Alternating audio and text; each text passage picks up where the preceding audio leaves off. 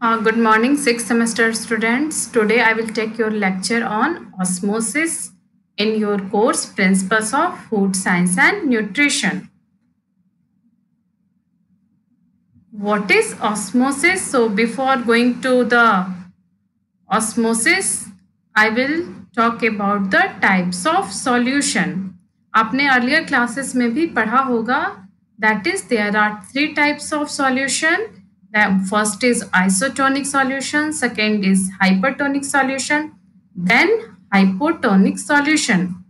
ये होता क्या है?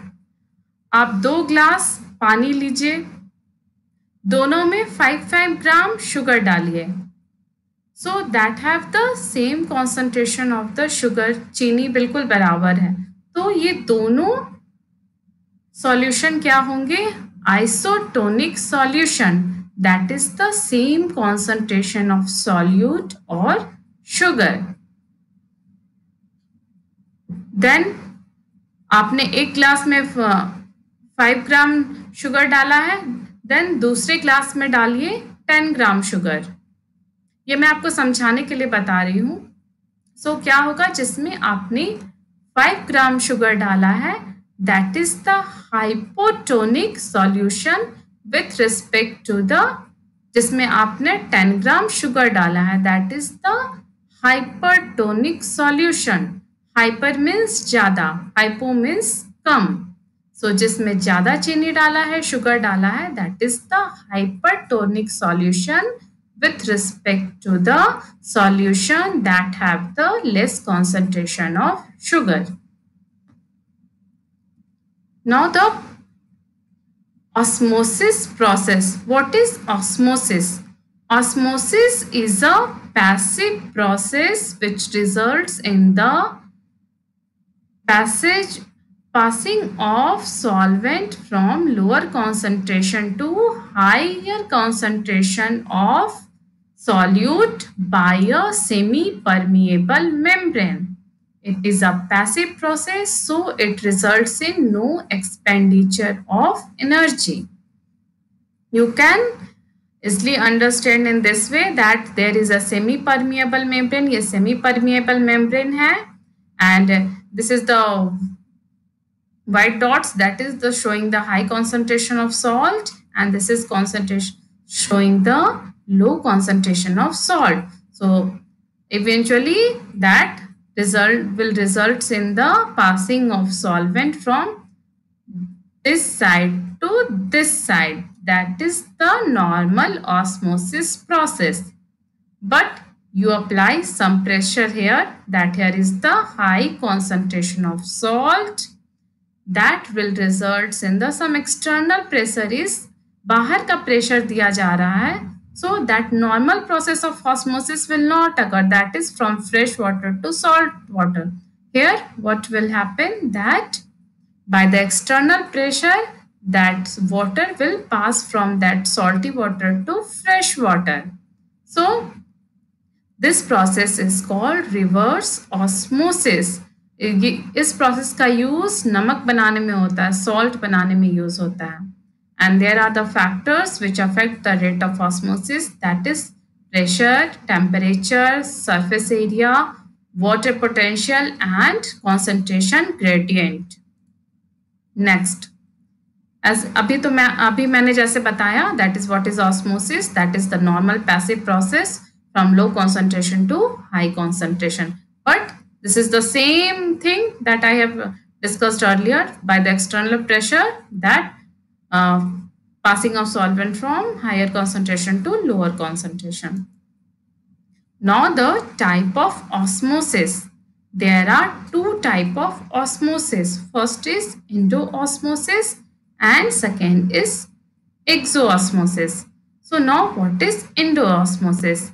In endoosmosis, when a substance is placed in a hypotonic solution, the solvent molecule move inside the cell and become turgid and which undergo deplasmolysis process. So this is called endoosmosis. ये example यहाँ दिया हुआ है. You can see here that हम resins को अगर आप hypotonic solution में डालते हैं that contains the lower. Hypo means lower concentration of solute.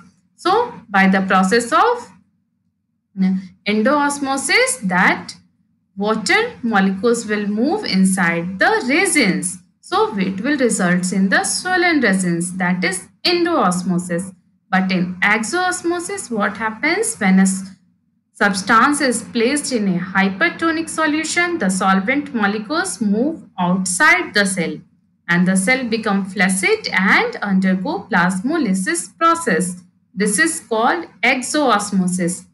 Example से आप समझ सकते हैं, हम लोगों ने ग्रेप लिया है। ग्रेप को आप hypertonic solution for example salt solution में डाल दीजिए that concentration that contains the higher concentration of salt और solute so what will happen जो आपने ग्रेप्स को डाला है that salty solution that will lose water because this is the salty solution is hypertonic solution, so water will move out from the grapes and that will result in the shrunken grapes that is the exoosmosis process. Now what is the uses of osmosis? Osmosis plays an important role in food preservation. For example, salt. If you place a food in a salty solution, so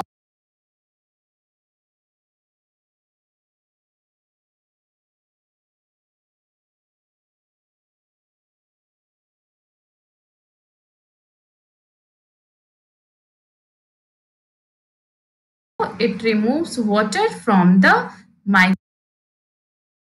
microorganism.